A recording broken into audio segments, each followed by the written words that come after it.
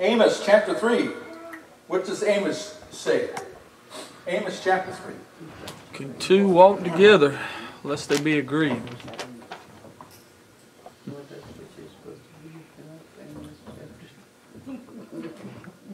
Can two walk together unless they agree? This is this is kind of like the foundational uh, foundational thought that I want to look at this year. Okay, I want Amos two or Amos three three to be our foundational verse for this year. Okay. the pivoting focal point. Okay, how can two walk together unless they agree? Okay, now I see two twos here. Okay, which is pretty neat. Uh, last year there was a two and a one, right? Well, and this is what I was seeing Friday night. I was seeing that we were uh, at times walking with God, but we were by ourselves and not walking together. Okay? Amen. And that's a struggle with most of us. You know, we find ourselves alone or find ourselves not paired up or uh, in strength together. Okay? And, and God wants to change that viewpoint this year. Okay? And I'm not necessarily saying uh, male or female or husband and wife type thing. I'm just saying, uh, a lot of times I've even found myself by myself.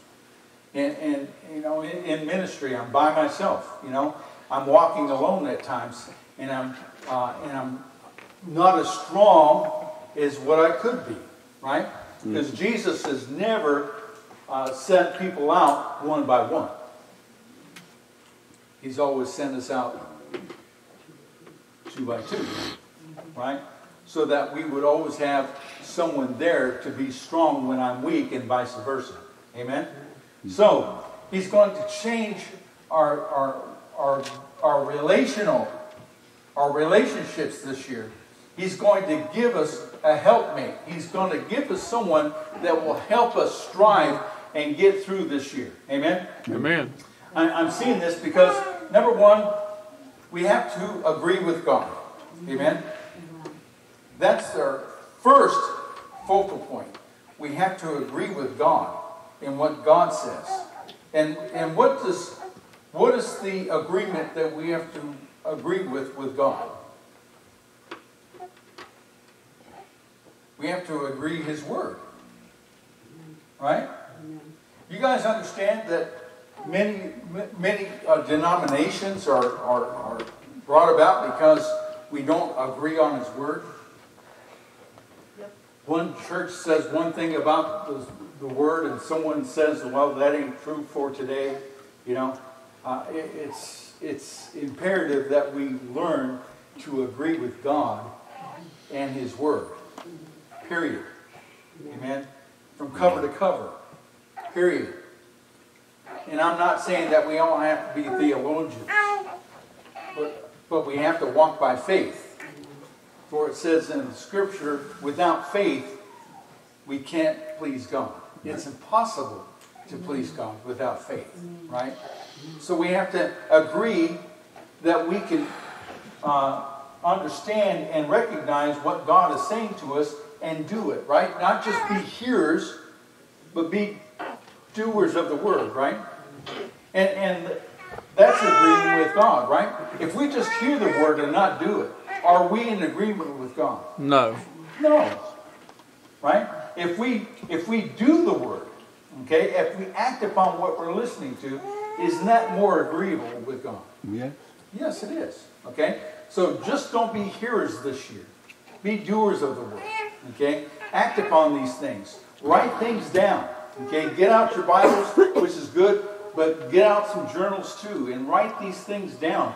Make them plain make them to where they can help you, okay, be, uh, become better, okay? I'm not up here for myself, by myself alone. I'm up here for you guys, right? And the word that I'm giving you is for you also. It's not just for me. Amen? Amen. Amen. I heard it in the back there. Amen. Amen. There you go. Okay? So we have to agree with God's word, right? What else do we have to agree God on?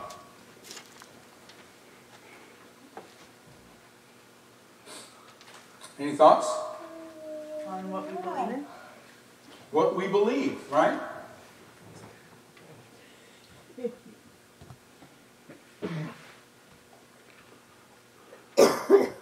Okay?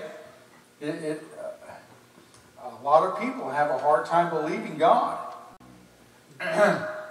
what about healing, health, uh, finances, right? Uh, or money, right? Come on now. We have to believe God. What, what does God say about His Word, though? What does God say in His Word about our healing? What does God say about His Word about our finances? What does He say? And, and if you see it, it, do you believe it? That it's for you? You know, a lot of times we just read over it and it just goes, wow, you know? And it really does, because we really don't think that it's for us. Okay? Mm-hmm. And I've heard it a lot, a lot. You know, well, you know, uh, it may be, you know, the blind man may have been healed, but uh, God can't heal me. You know, why not? Does he not say that he's the same God today as he was last year, as he was back then? You know, he's still the same God, right? A lot of people come and, and don't receive because they don't believe. Amen? So this year, we have to agree with God in His Word, and we have to believe in what He says. Amen? Amen. So, if we can get this one straight, what about our second one?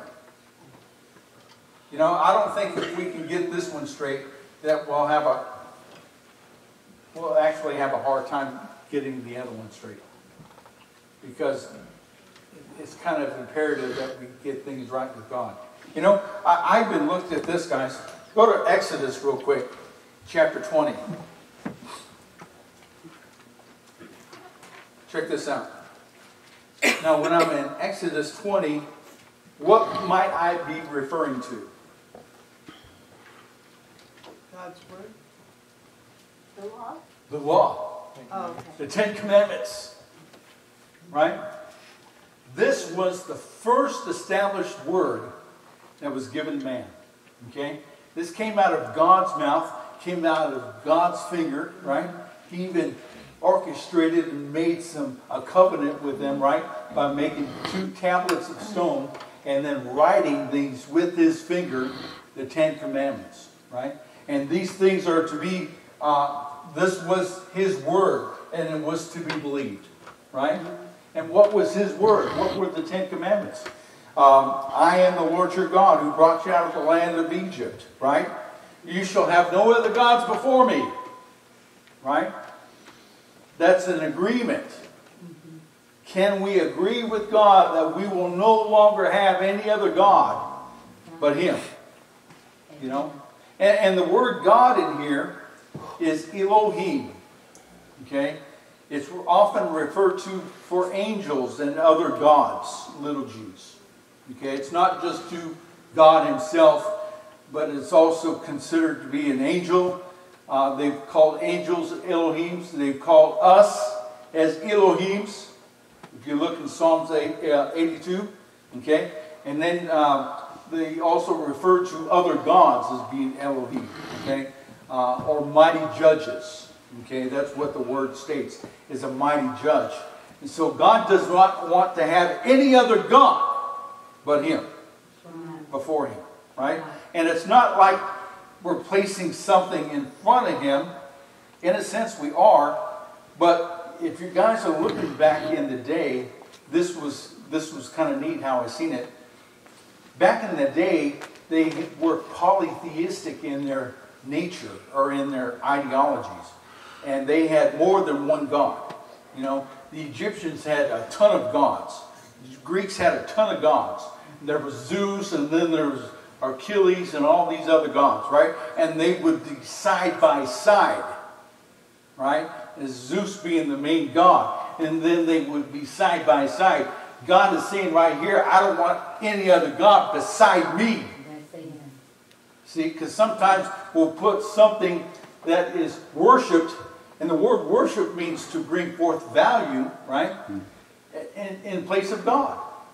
Have someone there or something there that is in place of God, that is right next to God, and we worship that thing or that idol or that person just as we do God. See? And that's the whole idea behind that first commandment. Is God wants to be worshiped alone. No other person, no other thing, just Him alone. Amen? Can we agree with that? Amen? See, this is imperative that we learn and understand what the scriptures say. Because if we can agree with God that we will no longer have any other idols or any other thing but Him, Him alone, Right. If we place Him first on the throne, then everything else comes next, right? It's actually made easier. Okay? Number two, you shall not have, make for yourself any carved or graven images. Okay? Now, a graven image or a carved image would be something that is sculpted out. Okay? And we often see these things in other uh, forms of religion. Okay? Uh, even the Catholic Church has got some statues and stuff like this, guys. You know, and they're images. And we bow down to these things. And we pray to these things. It's kind of sad, you know, that we we should have, and it's like we forgot what the second commandment was. And we bow down to these things, asking them to help us get to God. When Jesus has already told us that we don't need no other person. He is our mediator. He is our help, right? He's already established a work between us to where we can go to God by ourselves. Amen? We don't need any other help. Amen? I'm serious now. And uh, we have to be careful about having idols and stuff like that. Okay? Um, but again, why would he put it in here and have us agree to it um, unless it was important to him? Right? It's important to God. Okay? And because of that, check this out.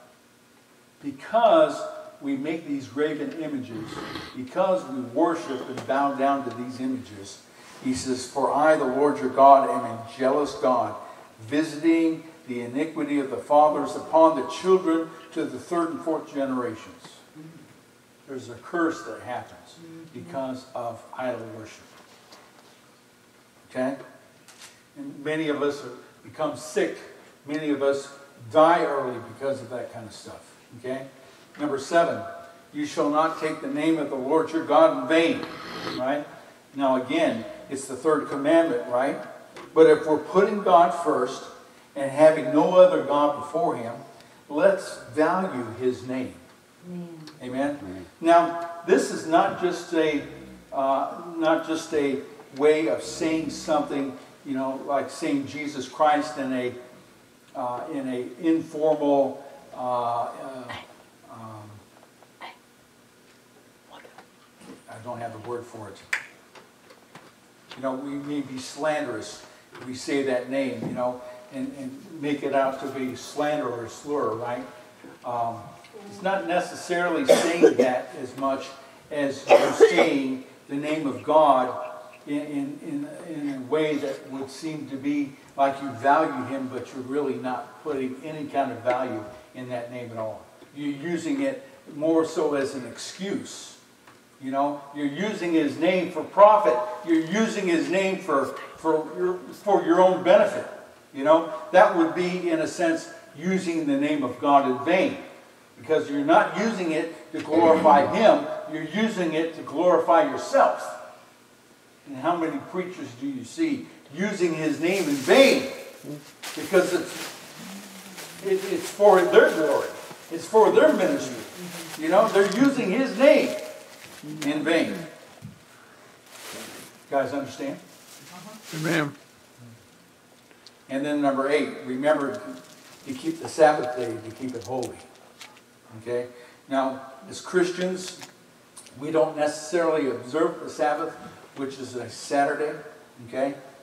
But we used to 40 years ago or so, you know, maybe even 30 years ago, we, all, we were off on Saturday and Sunday. Just for that main purpose, you know, of honoring God, you know.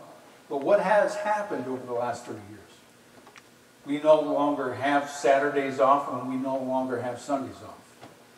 Mm-hmm. And- And we wonder why we're so messed up in our culture, you know, in our cities and everything else, guys. We're not like we used to be. We've got more sickness now than we ever have had. We've got more deaths now, more murder now, more crime than anything else. We've got we've got drugs and alcohol out the yin yang, right? And it's terrible. But when are we going to get back to honoring God? To keeping at least one day holy. Not using it for our own selfish ambition, but to honor Him in that one day. You know? That's why I, uh, I want us to be honorable this year. To give God at least one day, you know, to honor Him. Amen? And to worship Him. Amen? Amen. Now, remember, He gives us six days to labor. Right? So work. Work those six days. But, you know, just know that you need to put God first. And again, we'll put the job right next to God. We will. We'll, we'll put our paychecks right next to God. Thinking that this is our form of, you know, that the, the job or the paycheck is our form of, uh, of income, you know. And, and guys, it's not. Who gave you the job? Who's blessed you with strength? Who's giving you the ability to get up every morning? You know? But if you're not honoring God, how can you honor your employer? You know, I'm just asking. You know, you want to be an honorable employee, right? You want to do good, right? You, you want to show forth favor, right? You want to be at your best, right? Well, honor God in everything that you do, right? And I'm not necessarily saying that Sundays are going to be a day, because nowadays it's almost impossible not to get a job have to work on Sunday, you know. Even as I was was as a truck driver, you know, I had to work on Sundays. I work two or three weeks out of the year, and then I'm off for two days, and I'm only in my church for that one day, and then I'm gone again, you know, for another two or three weeks. It hurt me, you know, and I understand the, the ramifications of making the decision, and, and then, you know, down the road a ways, you know, two, three thousand miles down the road, I'm starting to recognize, well, maybe I made a bad choice. Because I was thinking that I might be getting home a whole lot better, you know, or might be able to be in church once in a while. Here I haven't been in church in over a month, you know, and I feel it, guys. I feel it when I, I'm not able to, to get in, uh, in the presence of God and with my friends. I feel it, you know, it hurts me. And about two years in or so, um, as I was, you know, praying to the Lord, it might be on a certain, certain Sunday or Saturday night like tonight, you know, last night. Uh, I'd be heading down the road, and I remember this one time that I was actually uh, in uh, in Missouri, and I was heading on down into uh, Oklahoma, and right there in Joplin, uh, I noticed that uh, you know in my doings and my workings and stuff, you know, and I always kind of make a plan, you know, of how far I was going to run and everything, you know. And on that Saturday, I kind of recognized that I was going to be um, getting my 600 miles in about about Joplin, Missouri. And it's like, you know what, God? Tomorrow's Sunday, and I really would like to be in church. You know, I'm tired, wore out. You know, 70 hours a week.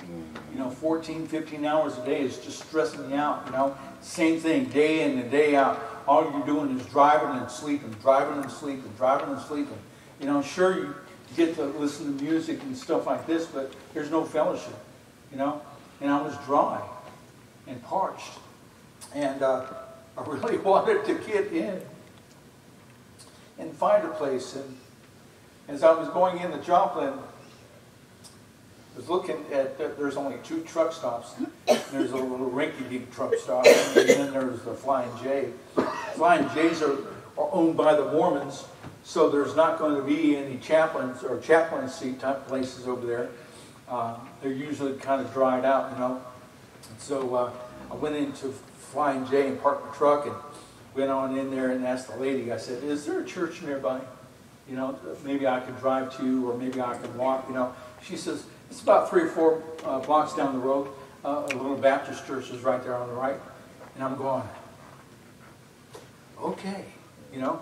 So I put on my, my best guns, you know. Now it's kind of scruffy and everything, you know, being out for, for a while. Uh, I'm, I'm kind of cautious, you know, with certain churches that I go into. Um, but, you know, I said, hey, I need to be in church, you know. So I got up early, got down there, uh, about 8.30 or so, and I opened up the door and everyone's wearing suits. And I was like, oh gosh, now here I am looking like a sore thumb, you know. But as soon as I, I came in, man, it's like, hey, how's it going, brother? Uh, welcome, man, what's your name? And uh, you're just in time for Sunday school. You know, it's like, okay. And so I went on in, and here, I, all week I've been stressing and, and, you know, going through this hard ordeal, you know, suffering. And guess what their Sunday school lesson was on? Suffering. Boy, I tell you, it was just breaking my heart, man. Within a few minutes, I was crying, and everyone, what, what's going on, Brother Mike? And, man, this thing is speaking to my heart. I actually, one of the first times that I ever had a chance to speak to a crowd of people was on that morning. I just let my heart loose, man, and started crying and weeping, talking about how the Lord is getting me through this time of suffering, you know, through this valley of dry bones and everything else, you know. It was like, wow, you know. It was so good that they had me come in as a guest speaker in the regular service. And it's like, this is crazy. I'm in a Baptist church, you know. But I felt so good at the end of this, at the end of the service. You know, I felt like I was refreshed and, and uh, you know, good to go for another thousand miles. You guys understand? That's the way I, uh, it's the way I kind of feel, you know. When it comes down to uh, the love tank, you know, I've often talked about a love tank, you know. Every one of us have got a love tank. And uh, we're either em on empty or we're going to be running full, you know. And when it came down to the, this morning, you know, where was your love tank? You know, where was it at on, on were you guys in need of, of some love, you know? What, this is the reason why you came, was for love and fellowship, you know, so that you get your love tank filled up, you know, so you could be good for the week. Amen? That's why I come. You know, usually I'm, I'm about halfway. You know, I'm never really ever, uh, never empty anymore, you know, especially coming in on Wednesday nights and having a chance to be over there Brown Packing Thursday and Friday. You know, I'm, you know, I'm usually filled up by the time Sunday comes around. So, you know, but I'm just asking questions here because, um, you know, the importance of, of putting God first, you know, the importance of keeping yourself filled up and, and, and, and alive. You have to agree with God that you're going to do what He asks you to do, to do this year. You know, give Him one day. Give Him at least one day a week. You know, honor God. And if you can do these four things, the Bible says, you know, these first four commandments were about God, right? Okay? The fifth commandment is, is what? Honor your father and mother. Okay? Honor your father and mother. Now, why would God say that? I think because it, it's a value thing to God. You know, He values family, doesn't He? He values family above anything else. Before or after Him, right, is family. Right? After you honor God, you honor your family. Right? Because He's the one that brought you into the family. Right? You didn't choose who your mom and dad were. Okay? Now, after that, the next um, five verses after that, okay, are relational for friends, right? You got friends, you got neighbors.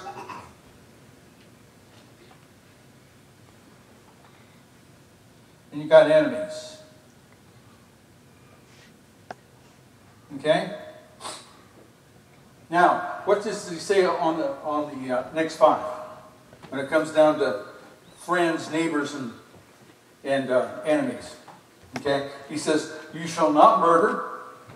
You shall not commit adultery. You shall not steal. You shall not bear false witness against your neighbor. You shall not covet anything that your neighbor has." Okay? Now, all these things kind of line up pretty easily under friends and neighbors, right? But then we get into Matthew chapter 5, and Jesus kind of messes that up, doesn't he? Because, you know, he keeps on saying, well, you've heard it said. You know, you've heard it said that not to commit adultery. But I say, don't even look at a woman with lust, right? You see what I'm saying? And, and we're going to have to be in, in that agreement with him. That these next five are in our perspective for being in that next two setting. Okay? Because if we can agree with God, then we can agree not to hurt anyone else. And really, that's all He's asking us to do is not to hurt anyone else. Right? Right. It doesn't matter if you're your friend, doesn't matter if it's your neighbor, doesn't even matter if it's your enemy. What does Jesus say in Matthew about our enemies? He says, Bless your enemies. Do good to those that persecute you, right? What? Love your love your enemies. What? What, does that mean? You know? Well, everyone else, uh, you know, even the heathen love their love their uh, you know love their neighbors and everything else. I want you to be different, right? I want you to bless those who curse you. Amen. Can we agree with that? Mm-hmm. Yeah. That's a hard thing to do, isn't it? Yes. But if we can take those 10 things, and Jesus says it kind of breaks it down to two, doesn't it? See? It breaks it down to two commandments. Mm. Love the Lord thy God with all your heart, soul, mind, and strength. Love your neighbor as you love yourself. Right? Isn't that good? Two twos, right? You got to be able to walk together with God. That's the first two. Then I've got to be able to walk with my brother, walk with you, walk with my wife, walk with my neighbor, walk with my enemies. That's my second two. Am I right? If I could do that, if I can learn how to do that, okay, 22 is going to be good, you know, because when we're looking at Jesus in, uh, in Mark chapter 6, go to Mark chapter 6 real quick. I'm almost done.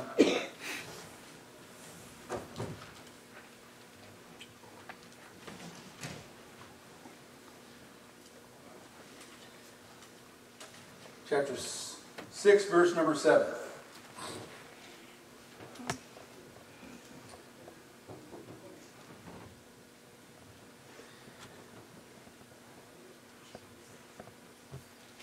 Mark 6, verse number 7 says this And he called the twelve to himself, and he began to send them out two by two. Isn't that interesting?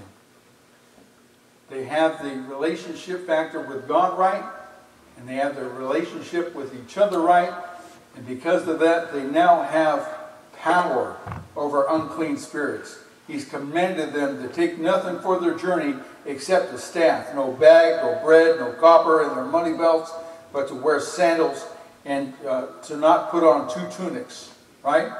Now, this is interesting because not only is there opportunity and power to go out and to represent God because we're in line with God and we're in line with each other, but we're also seeing that God will provide for our needs. You guys see that? I see it. He says, don't worry about what you're going to wear. Don't wear two tunics. Don't worry about how much money you're going to carry. I will provide. Right?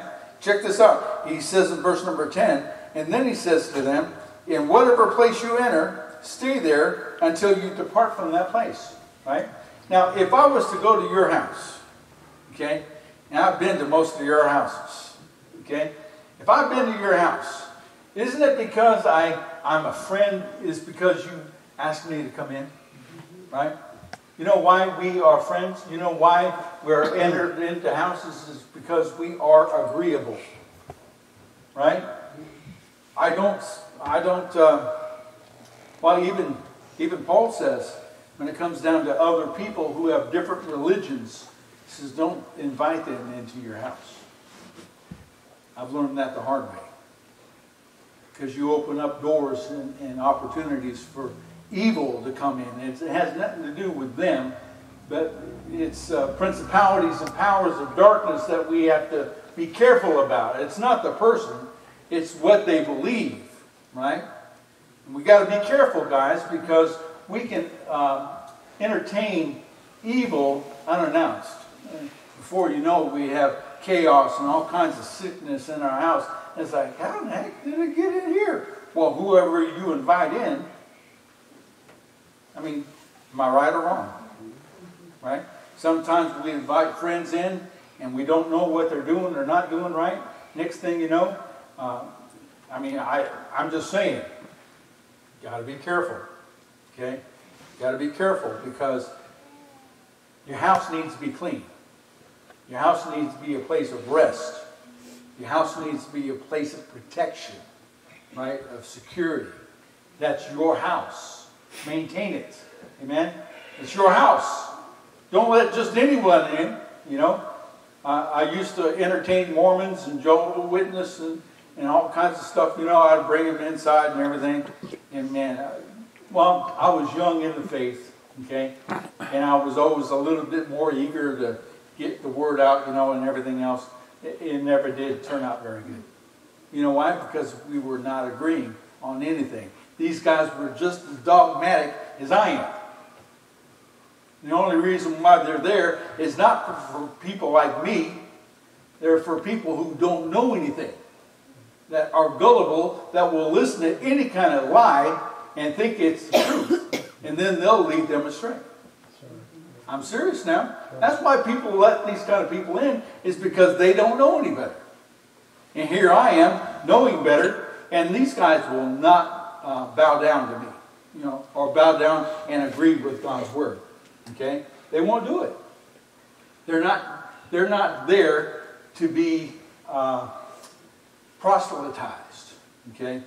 Uh, but I have found it interesting because uh, as I do talk to them, and I, it's not like I don't talk to them, but when I do talk to them, it's usually out there on the front porch, you know, out there on the sidewalk and stuff, and it's like, hey man, let me go in and get my Bible, you know? It's like, what? You know, and out there on the street now, it's like there's something different, you know? I've allowed them to speak, but then I open up the Word right where they are at, right? Because I'll use their Bible against them. I will. Okay? I have knowledge and understanding, right? And the one thing they don't have is the one thing I have, and that's a genuine relationship with God. Amen? And the Holy Spirit. Amen? And the Holy Spirit will open up things and, and let some light to shine in. And before you know it, man, their, their bishops and everyone are trying to get these guys away from you. Because they, and they'll never come back. They will never come back. Because it's like, oh, almost got you. Come on now. You know, it's like, oh, we gotta go. We gotta go. What? What? What? Come on, give me a few more minutes. No, no, no, no. We gotta go. They will never come back. You know why? Because I am not uh, ignorant. Okay? And I don't want you guys to be ignorant. Amen? Amen. I w- I don't want you guys to be ignorant. I want you guys to know what the Word of God says. So that when you do have tests and opportunities such as that, you'll know what to say. Amen? And, and you'll have the Holy Spirit more than able give you everything you need for that particular time and, and time frame. Amen? Amen. But he tells us He says, In whatever place you enter the house, stay there until you depart from that place. And whatever will not receive you, nor hear you, when you depart from there, shake off the dust under your feet. Now, this is a strong corrective measure. Um, obviously, a lot of people don't talk about this or preach about this. But if we're not in agreement, guys, we're not in agreement. Am I right? And it's a severe case right here, obviously. But if they are not willing to receive you nor listen to you, and that's the thing, you know, there's there's animosity, there, there's a staunch, you know, I will not listen type attitude, a, staunch uh, uh, rebellious attitude, right? They're not going to listen. See, now it's between them and God, right? You're not, you're not being mad, you're not being mean, you're just shaking the dust off because your feet got dirty. Amen? If you're in relationship and everything's good, your whole body is clean, Jesus says. Right? That's why he wanted to wash someone's feet, or Peter's feet at the time, was because his feet were dirty. You know, we often, uh, we oftentimes get dirty because of relationships. And it's not the whole body that needs to be clean, but the feet. And it's kind of funny. I, I got my new shoes on. You know, because I don't like my feet to get dirty. Am I right? It's it, and it's because it's relational. It really is. I want to be in a relationship with you guys that we can agree on and be able to walk together in, right? To where we don't have to have our feet dirty because of something not being said or something not being agreed to. Okay? If you guys can walk with me, you're going to agree with me, right? If I'm going to walk with you, you're going to agree with you. I'm going to agree with you, right? Amen? Amen. And it's a hard thing now because some things that Jesus says in here are not all that, uh, you know, plainly wrapped in, into a nice little fur bunny, you know, type thing where everything is happy all the time. Jesus even said he had a few hundred disciples at one time and he started preaching on this eating my flesh and drinking my blood type thing and everyone freaked out. I don't know why they would freak out, you know, because this is Jesus speaking. You know, I don't care what Jesus would say, you know. I mean, this is Jesus now. And many, it says in John 6 66, Bless you. this is John 6 66, that many left him from that day forward and never followed him anymore. They didn't agree with what he said. So they left him.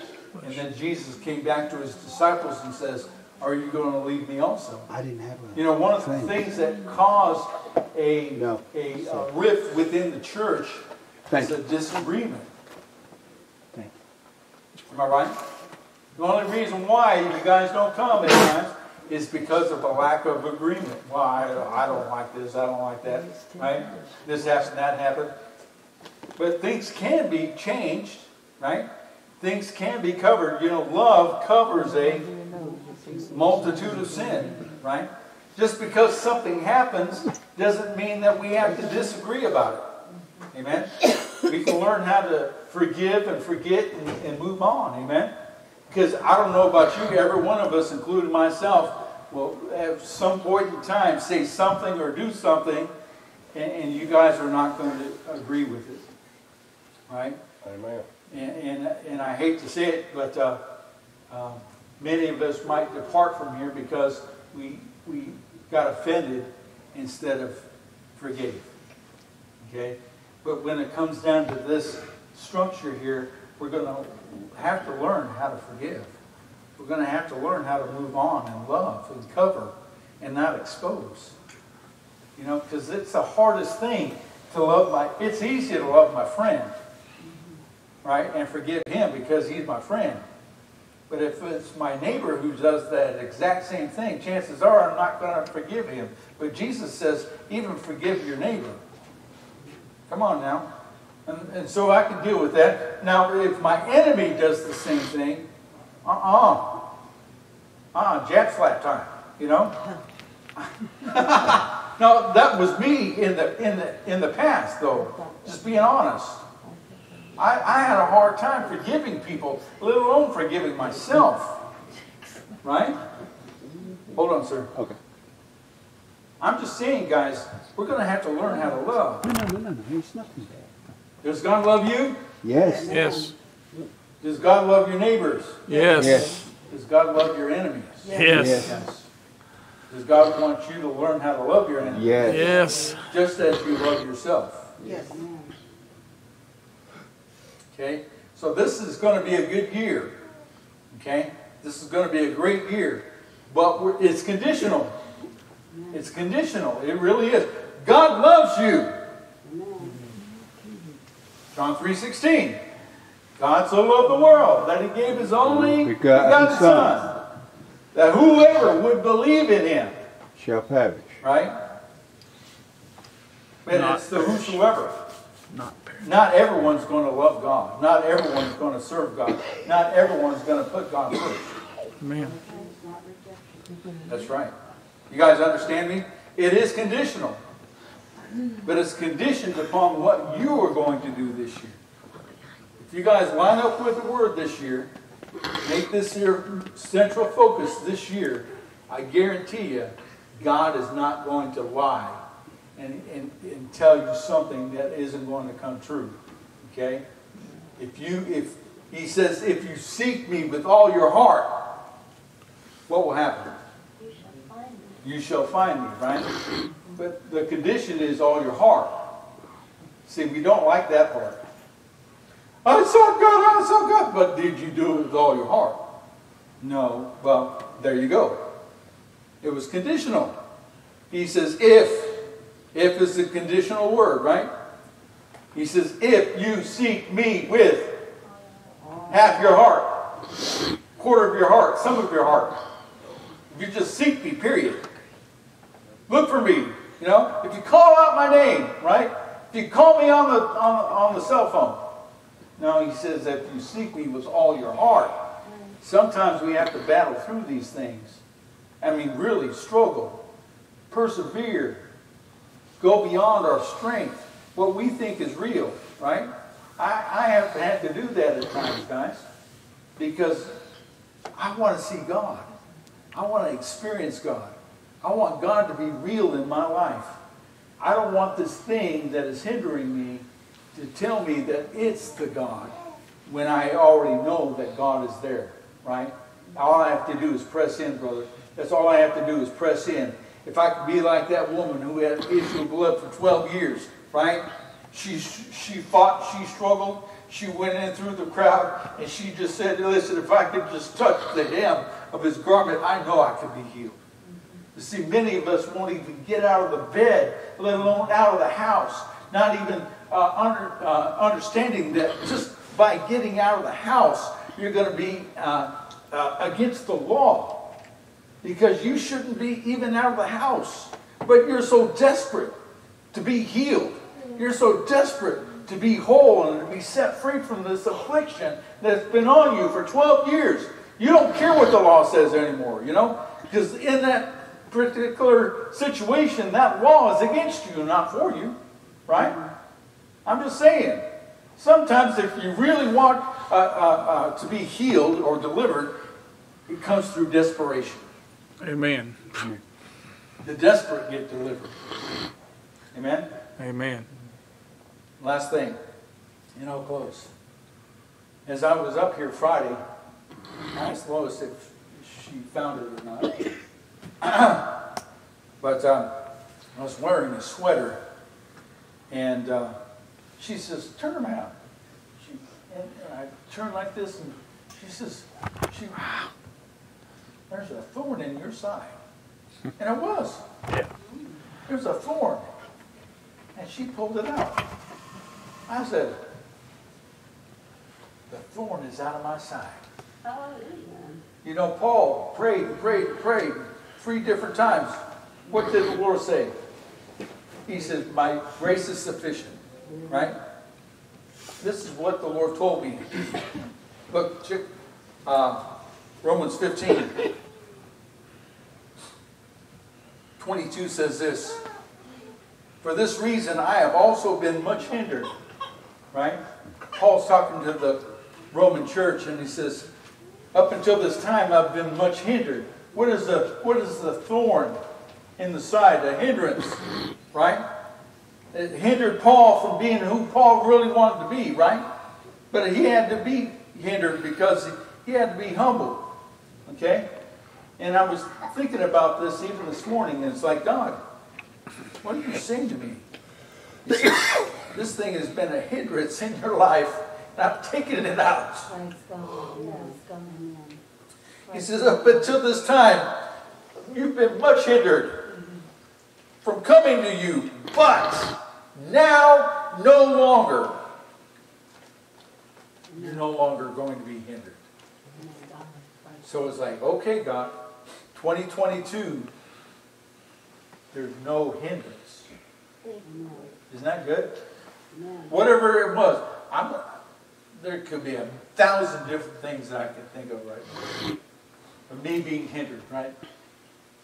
But for some strange reason, I had a thorn in my side mm. that my wife was able to see. I wasn't able to see it.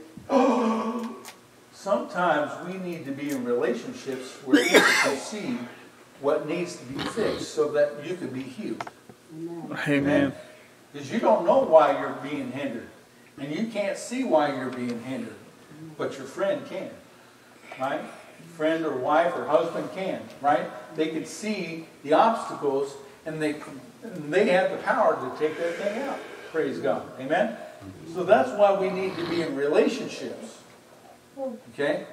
Now, mind you, I said this Friday night. this Friday night, I said, 2022 is going to be a year where we're going to agree with God. In 2022, we're also going to agree that God is going to give us a helpmate. Now, I'm not necessarily saying that this is a husband and wife thing, okay?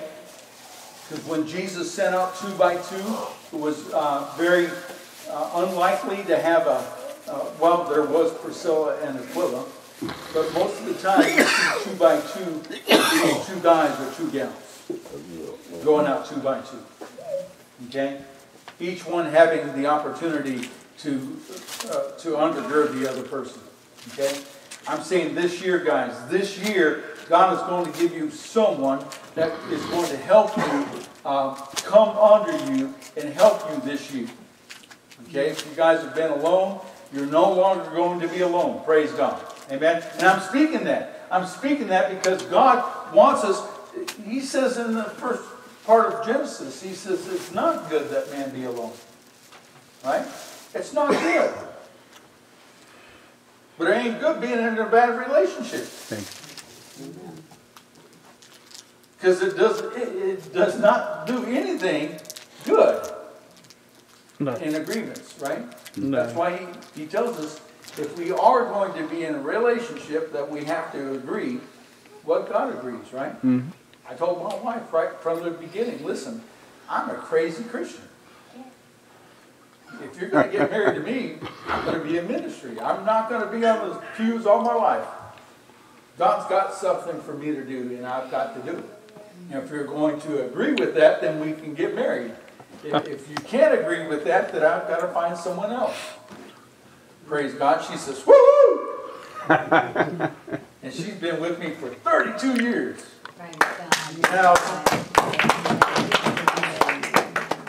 I'm just saying, guys, and it hasn't been easy. In 32 years, there's been a ton of times where we could have disagreed and, and kept on in that disagreement.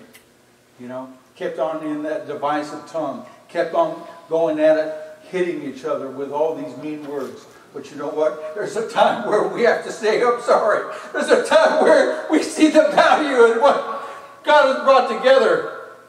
There's a time where we have to uh, humble ourselves Amen. and get back in line. Because God only has one reason to bring two people together, and that's for communion. It's for relationship. It's for something good. Amen. He brings you into my life, it's because I'm in your life for good. Amen? And vice versa. If you guys come into my life, it should be an expectation of something good. Amen? I shouldn't see anything evil coming from you. Why? Because you agree with God. You're not going to hurt me.